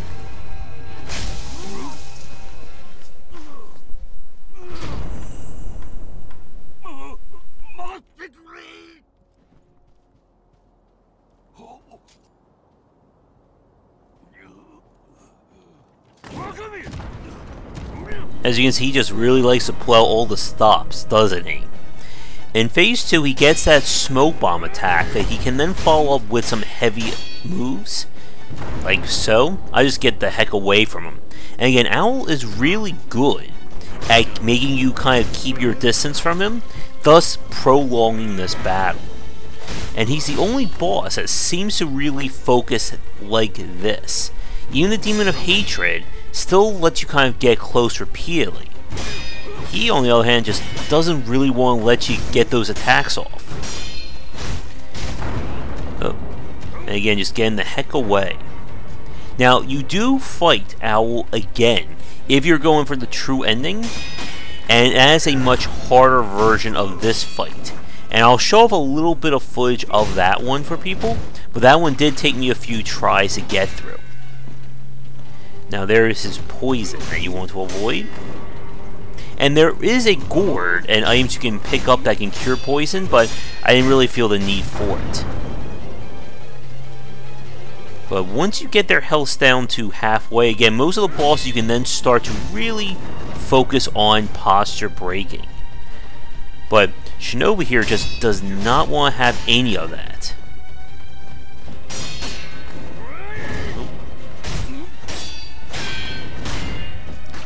And I don't think if you parry that kick, if it does anything special for you. Now what's very interesting about this battle as we're watching is again, he his moves tend to combo or chain in a variety of ways. And again, he's a lot more unpredictable than Genichiro. Messing up those parry timings. And yes, if he gets you on the ground like that, he can finish you or do massive damage. Thankfully, I just had a sliver of health left. And a lot of the late game bosses are really good at kind of changing up their pattern or reading or altering it based on what you're doing. I think the Shinobi fights are the only ones, other than the Demon of Hatred, where I had to go for health to kill rather than death blow. Now, I was playing this with prosthetics, I could be using the firecrackers to distract and keep the engagement going. And that's what's generally considered the speedrun strategy. Goodbye, buddy. But, we're going to show off very quickly the Owl Part 2 fight. And this is if you're going for the true ending like we said. And this fight is a lot more challenging. He punishes you more for staying at long range, and his pattern is a lot more unpredictable. As the footage shows, I've sped it up about two times speed here, because this video is starting to run a little bit long. But I at least wanted to show off this fight. His pattern becomes a lot more erratic, and when he does that overhead slash attack, the game will read whether you are standing in front of him or if you are to the side or back. And if you are to the side or back, he will cancel that and do a counter slash. Very interesting way of changing up the pattern. But this is a fight where he will make more use of the firecracker throw.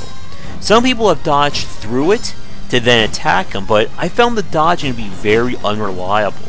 And I don't know if that's just a me issue or just playing this on the PS4. This is again where you want to be aggressive, despite his intention of staying as far away from you, as his combos get a lot more dangerous when he runs at you from mid to long range. He does have an attack that you can Mikiri counter, that if you don't is also very punishing as well. But as we're going to go through here, he does gain a few little tricks when he gets to phase 2 of this fight but I believe I am going to be killed in a few seconds.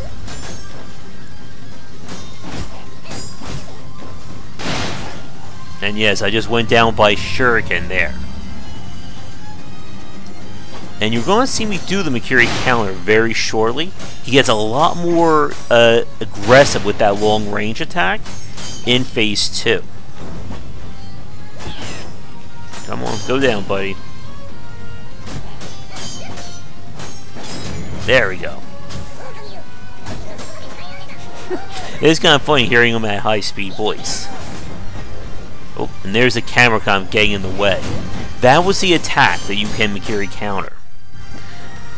And gotta be really careful about that owl as he likes to teleport around or throw a giant fireball.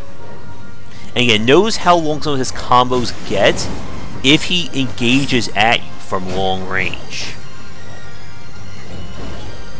Not sure how that he got stuck on the pillar there.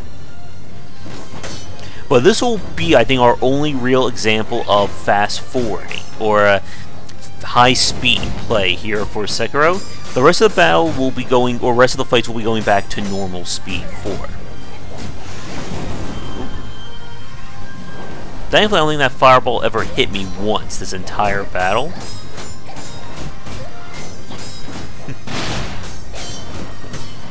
I don't know, I think I found them easier in Phase 2 than I did in Phase 1. Really make use of that run, too. Hmm. Now you can sometimes force him to do the long range unblockable by saying it long distance, but if he doesn't do it, that combo of his will just wreck you. But we almost got him. And this is definitely the hardest humanoid battle in the game, and probably the, the second or third hardest boss, in my opinion. But with him finally defeated, that also sets you up for getting what you need for the true ending. And it is now time to skip way ahead to Fountainhead Palace and the return of an old friend. With the Corrupted Monk here, it is possible to initiate this fight with a death blow, which I got like very lucky. I'm not even sure how I managed to pull that one off. And that was my first attempt at doing it. But this fight is a lot easier, at least in the early stages, if you have to face Phase 1. Phase 2 introduces this nasty little thing, where she'll summon three clones who do some really great job of tracking you. I've seen people go up into the trees and use grapples, but that can also be risky as well, as if they hit you, they can knock you into the pit. And if you run out of health while falling, it is an instant death, even if you have resurrections. And yeah, I just really hate this pattern. Oh. And I also, because it was so long since my last fight with her, I forgot a lot of her tells. Which is also not good in a game like this. And that was obviously a sweep. But this part, other than that little shadow, is pretty similar to her first run. Again, just staying close, going for hits, and trying to just keep that posture going. Now, I think I'm starting to remember this fight at this point. After I got smacked enough times, I know. Let's see here. There we go, that's much better. Snap seeds do not work on this version because of the fact that it is a real one, not an illusion. I think if I did a better job, I may have only had to deal with this at one cycle.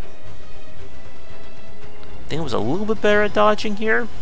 You see, they track you from when they spawn. So if you're just constantly running around, that will not protect you because they're going to be spawning in as you're running and tracking. And there's me kind of messing up the grapple. But thankfully, we're going to take her down here, or at least get down this form of her. And then we get one final surprise. Not sure what she just did there, or how I just avoided all that. Again, the game can be very weird sometimes in terms of those hitbox dodges. Alright, lady, time to go down. There we go. And you would think stabbing someone through the head with a sword be enough to kill them. Normally would be right, except her head turns into a giant centipede. This form, it's a lot easier to avoid her attacks, but she gets one new nasty move, and that's the Vomit. If that Vomit hits you, it builds terror, and the full combo hits, it may completely uh, terrorize you. Other than that, this one seems a lot more manageable.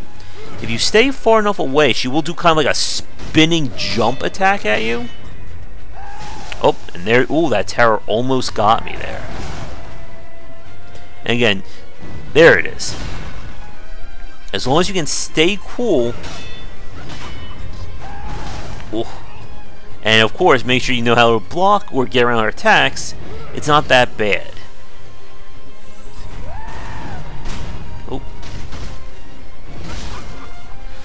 And you just gotta, again, keep an eye out for every pattern they're going to do. Now, she likes to do this spin attack a lot, and if you get good at reflecting, or deflecting, it becomes a lot easier to deal with, and it builds up her posture quite nicely. And I'm getting a lot of damage in simply by the fact that I don't fight her enough at this phase to memorize all of her patterns. I spent a lot of time in the first form of Corrupted Monk but she will be going down fairly soon. Oh, she got me with the uh, extra hit there. But yeah, I almost died for real during this fight. Also, one thing while this fight is going out is that I could have used one of the droplets that we pick up as a special item to get an additional resurrection point, but I felt like it didn't really serve a purpose since you have to at least kill a phase in order to get your resurrection power back to begin with. But Monk here is dead, and she is dead for real this time. She's not coming back. Goodbye. but with that said, we move into the game's final area, and that's Fountainhead Palace. And I really like the design of this one. Fountainhead reminds me a lot of some of these self-contained levels that we saw in Bloodborne or the Dark Souls series. Stuff like Anor Londo, Sen's Fortress, uh, that Ice City in, in Dark Souls 3 that I don't remember the name of. Areas like that, where it's pretty much a its own enclosed space. It doesn't connect to anywhere else in the game, so you just focus on it. And the level itself brings some interesting changes to the rules. These nobles in here, if they spy you, they will start sucking up your vitality. And if the bar fills up all the way, it will leave you weak and defenseless unless you can quickly kill them or you die. Now, there's a lot of water here, but there is a guy on a tree, like out in the distance. If you jump into the water, he will start uh, spamming lightning and kill you. There's also an additional bonus fight of a boar class enemy, which I did not know about until after this recording was done, so I have no footage of it. But one thing that I, or there's a few things I want to point out here. The first again is that I like the flow of this level. While it is very wide as with the other areas of Sekiro, it is also very focused as you run through the outer area, into the courtyard, and then work your way into the back to then fight the second to final boss of Sekiro. Now, another thing that I want to point that we're going to cut the footage here is that we didn't talk about ghost class enemies. And I avoided them as best as I could for this run for several big reasons. All ghost class enemies will inflict terror on you. And terror is a very nasty effect because when it fills up the bar, as we've said, is an instant kill. There are items you can use to recover from it, as well as a gourd you can pick up, but they come very late in terms of the gourd, and the other items are consumables, and I'm not a real fan of that. Now, these warriors can be hit by normal means. Ooh, that was a death terror beam. But the other type of enemies, the headless, can only be hurt by using a consumable known as divine confetti. And Again, I don't like when games force you to rely on consumables in order to make it through a fight, and that's why I just ignore that guy right then and there. There is a headless in the water who is guarding a treasure that I think I may either go for in this piece or I may have done it beforehand. And as, as you can see, I already killed the guy, so there's no need to worry about swimming. But in order to try and keep things moving, we're going to go forward to our next boss, and perhaps the easiest fight in the game.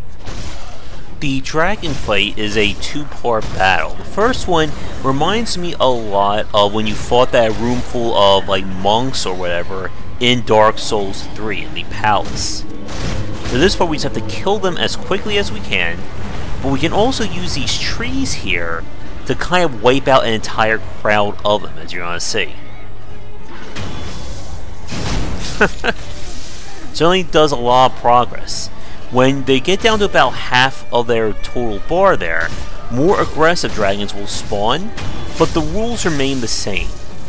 Get up, come down, and just wipe out the entire crowd. And this is just more or less the prelude to the main event. But both fights are more or less, I guess, what we would call the gimmick battles that sometimes From Software likes to put in. And we talked about this a little bit earlier, I think, with, um, I forget which boss it was. But I'm going to finish this part up really fast.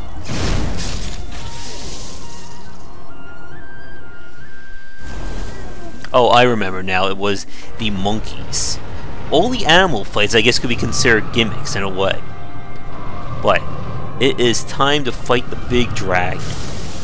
And this one, again, it's more of a gimmick than anything else, but this is the battle that teaches you how to do lightning reversal. And if you don't do it, well, you're going to be very much out of luck for this one.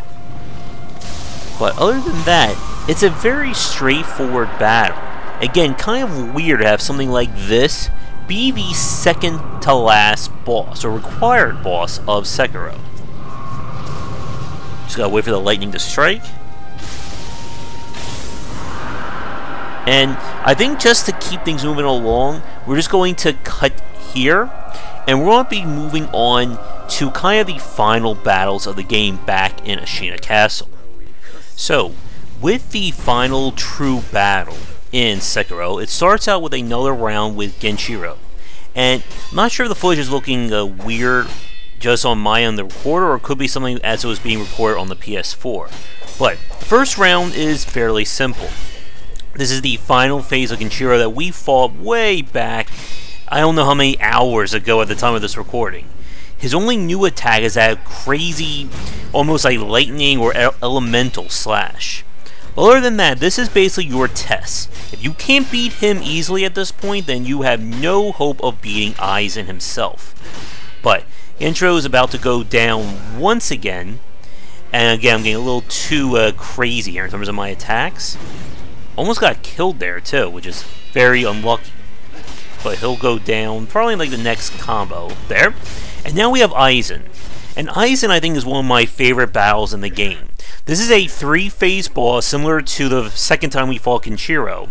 And he works pretty well in terms of, again, the design of Sekiro. Being measured, knowing when to push, when to get away, and, of course, knowing when to avoid crazy attacks like that. But, as you can see, I'm going to try and exploit the AI here. Being very measured and forcing him to try and perform attacks that I know I can reflect or get away from some reason I just cannot dodge those attacks. But I know what patterns I'm looking for.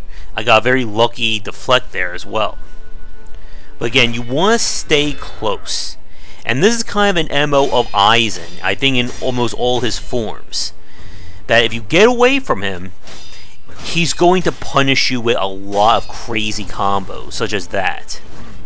You can jump over that attack, but I found it to be very unreliable, at least for me.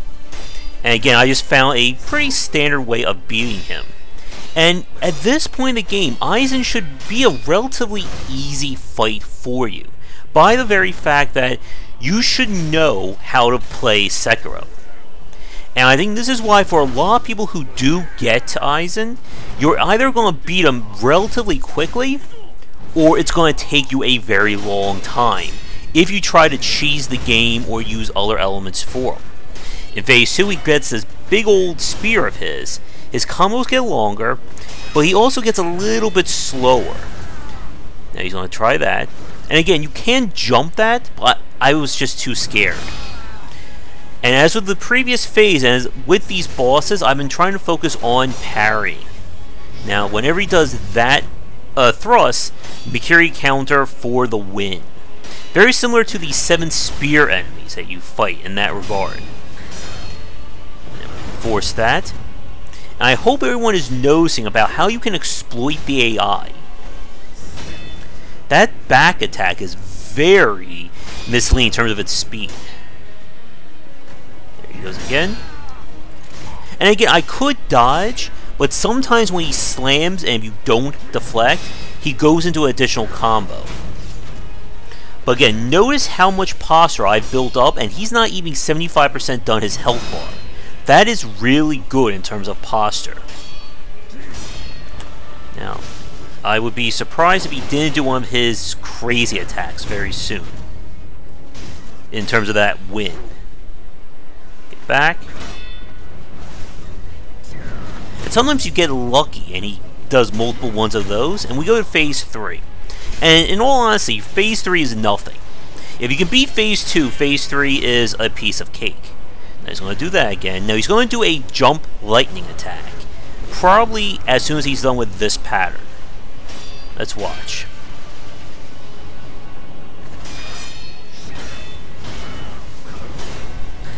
Oop.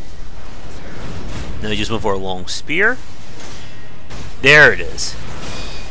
Lightning Reflect, and go for the win here. And interestingly, I died one time before this because I missed the lightning uh, chance.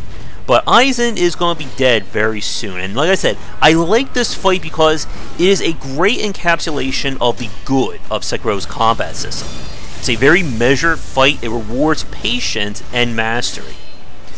And he doesn't feel as over the top crazy in terms of his pattern compared to the owl battles. Or even when you're learning Genichiro. Now that time I did get hit. And now I'm going back up. And he is about dead, and that is game, my friends. I'm going to go quiet here while we let Isshin go out in dignity.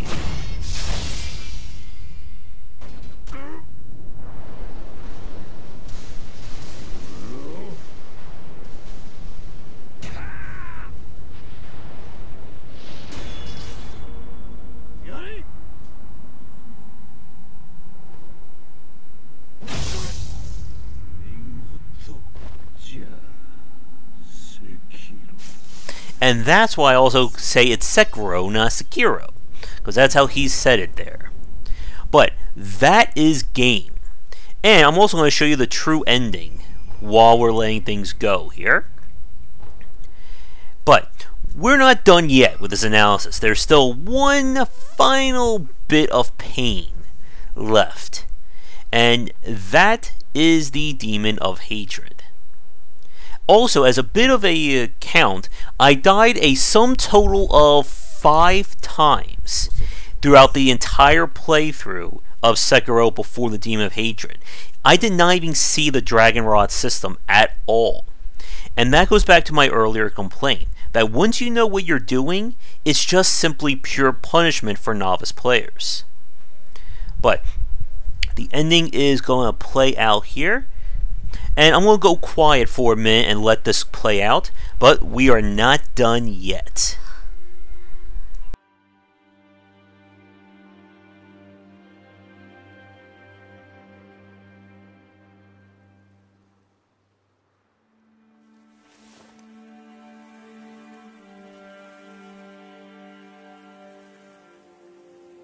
Mairimasho, 我が巫女。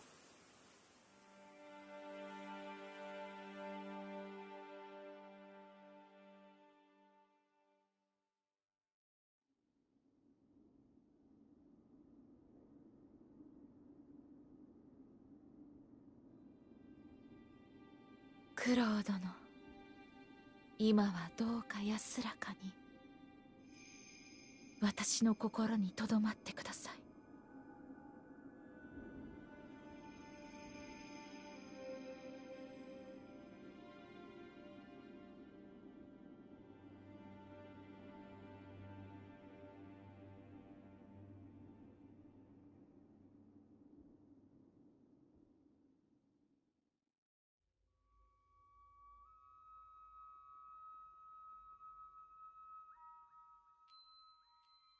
さようならみんな。私は行かねばなりません。我らの因果を断ち切るために。とても長い旅になります。それでも共に来てくださるのですか？はい。ありがとう。竜の忍びよ。九郎殿も喜んでおります。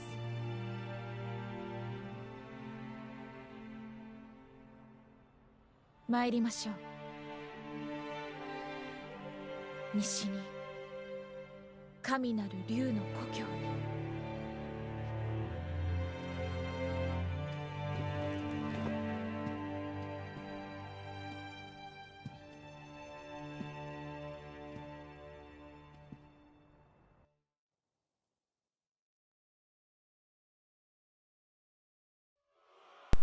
I know that it was all amazing and fantastic, but it's time for some pain. And we got ourselves the Demon of Hatred, the game's optional super super final boss. And it took me about 30 deaths to get through this fight without using any prosthetics or things like that. The footage you're seeing is from kind of like my final push towards beating him, so I already got most of the patterns down. But if Isshin represented the best aspects of Sekiro's combat system, the Demon of Hatred represents the worst. We have a boss who is giant, the camera gets stuck on.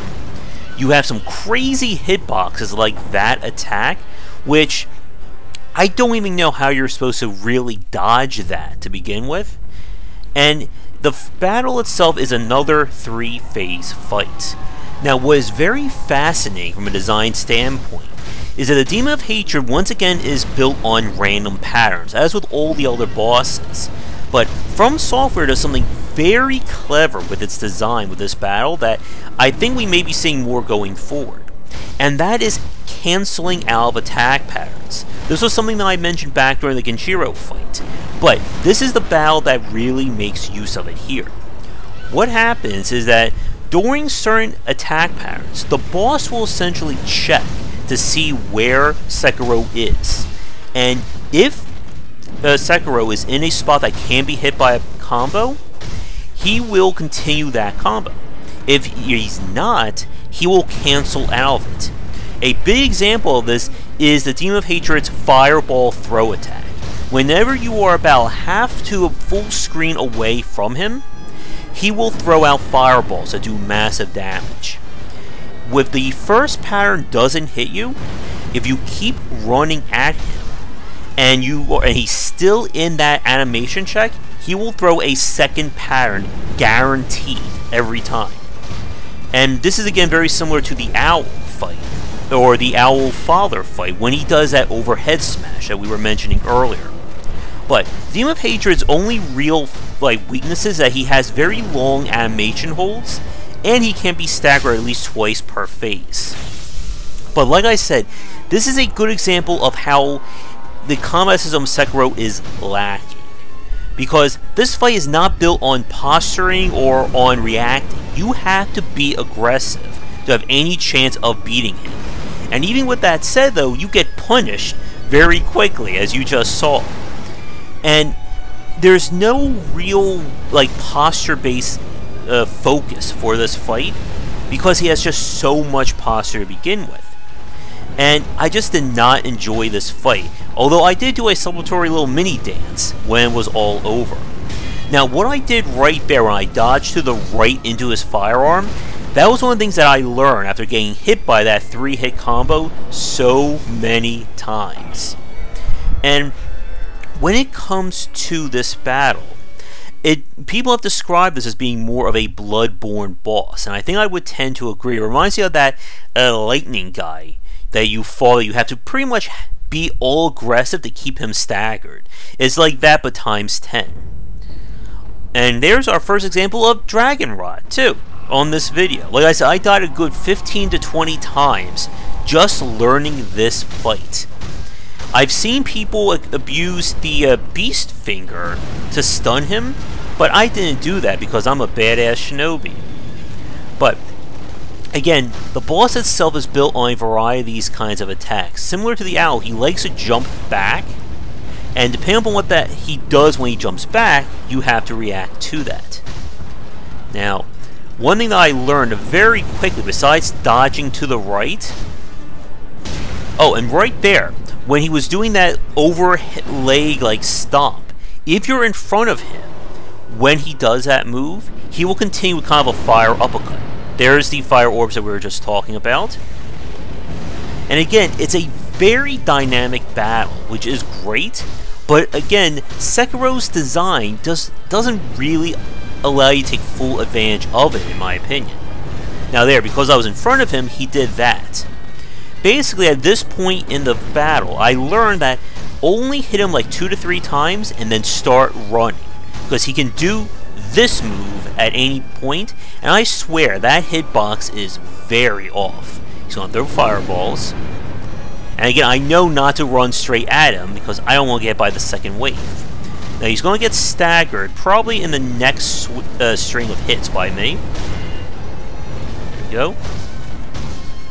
There we go and he goes down again. But, with that said, I'm going to switch to the footage of my actual win on the Demon of Hatred, and we are going to go over my final thoughts on Sekiro. But, the footage is going to cut back to the beginning of the fight so I have the time to talk about it. In the end, I didn't love Sekiro, but I didn't hate it. I think I came to respect the game I think that's the most I'm going to get out of it. Sekiro is a bit disappointing. Like I said, it's hard, I think, for the wrong reasons. And it's so highly focused that you are either going to beat this game almost very easily by the end, or you are never going to get there to begin with. And like I said, the footage that you've seen so far, I mean, kind of just like breaking almost every boss battle in terms of easiness, that took a lot of time to figure out what the developers wanted me to do. And I think one of the very misleading elements of Sekiro is that this is not a continuation in design. Not in the same way that Bloodborne iterated on Dark Souls as Dark Souls iterated on Demon Souls. It's an entirely new game, I think it does suffer from that kind of first game experimentation. Now, considering that I think this game has sold like 2 million copies, we're going to probably get a sequel. Sekiro uh, Shadows Die four times, maybe, at some point. And I'm going to be really curious to see what they do to refine and iterate on this design in number 2. Especially with how combat plays out. Will they keep to this like single way or single best way of playing? Or will they try and make things a little bit more accessible or playable for more people? Now, with that said, though, I'm curious for everybody who has watched, who's you know stuck by for like almost like two hours, or we are over, I think, two hours of video right now, about what were your thoughts on Sekiro, and whether or not you managed to beat the game all the way through. I don't know if people want to see me actually do a full run of Sekiro, but let me know in the comments below. But we're going to let this fight play out here, because there is no way, after like spending three hours fighting him, that I'm not showing you the entire successful run of it. Oh, and you missed this attack from earlier. He does this starting in phase 2, and if any of those fireballs hit, you're in deep trouble. As a very interesting fact, I got him down to basically four hits away from perfect death, or complete death, and then he got me with a last combo string, and I lost the fight. And you'll find that when it comes to the bosses in Sekiro, that once you're able to start getting them down multiple phases, they become a lot easier because you figured out what their tricks are. And again, here's me doing my best to avoid that just damn run. Again, it still pisses me off, and I'm not even playing it right now. That hit me so many times. And one thing that I'm very curious about as we're wrapping this up, like I said, I played this on an original PlayStation 4. And I know people have played this on the PC or PS4 Pro, and I'm wondering if a lot of my timing issues, especially when it came to dodging, is part of that. And I don't have any proof to say yes or no. Now, the camera disengaging, that's just a major bug with the game that I think is in all versions. But having, like, being not able to dodge properly just really frustrated me a lot in this game. And usually I'm really good at that. I used to be able to dance around enemies in Dark Souls. But, let's see. Yeah, we got about another minute or so left of this footage. And like I said, ultimately, I like this game, or I like the design of it, but I don't put it in the same echelon or the same tier as Bloodborne in terms of really making you feel like a badass. I felt too many things in this game got in the way of that, whether it's the camera, how enemies can kind of just like get through your own attacks, and the limitations of fighting a lot of these enemies. Like I've said, this is very much a my way or the highway kind of design. You can certainly to some extent cheese some of these fights or use a suboptimal strategy for it. But the real way to play this is always going to be the easiest. I'm curious to see what people or speedrunners are going to do with this game because we've already seen people, I think, get it down to like 30 40 minutes if you're just going for the bad ending. I would say maybe like an hour or even a little bit less than that if you're going for the true ending. Because again, the game has very little abstraction to it. So you don't need to grind enemies in the same way as you do other Souls-likes. And once you know what you're doing along those lines, you may not even need health or attack upgrades. You can just push as best as you can. And hope everyone's noticing how we're pretty much dominating this fight, at least in this stage of it. And I think part of it is that when he starts getting so many more additional combos or attack patterns that he can draw from, it becomes a little bit easier to read. Now I ran in here, but I think I kind of stopped very quickly. I think I'm about to get a, a power bombed there. Ooh. But I assure you, despite the fact that I'm almost dead, this is a winning run of this fight. but as the fight begins to wrap up here, I would like to thank everyone who has stuck by for this entire video. Hopefully future dissecting designs will not be this long. I may need to get go on a little vacation after recording this whole video. But be sure to check back for daily discussions on game design here and on game wisdom, where some of the art and science of games. Check out the Discord channel we mentioned earlier, and let me know some other games if you'd like me to do a dissecting design on. Otherwise, I'm going to stop talking here, let the rest of the fight play out, and I will see you all next time for another discussion on game design.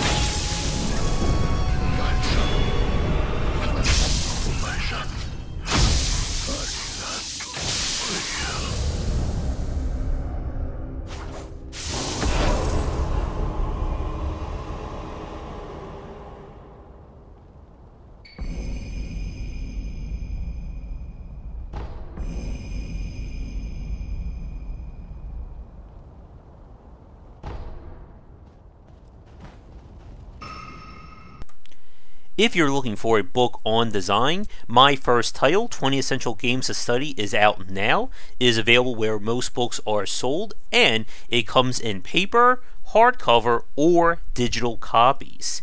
This is the perfect book for anyone interested in learning about game design, whether you are a student, enthusiast, or just a fan. And now for a quick thank you to our Patreon backers as well as to our current Game Wisdom sponsors. And if you'd like to continue this discussion on game design, be sure to check out our Discord channel, link down below.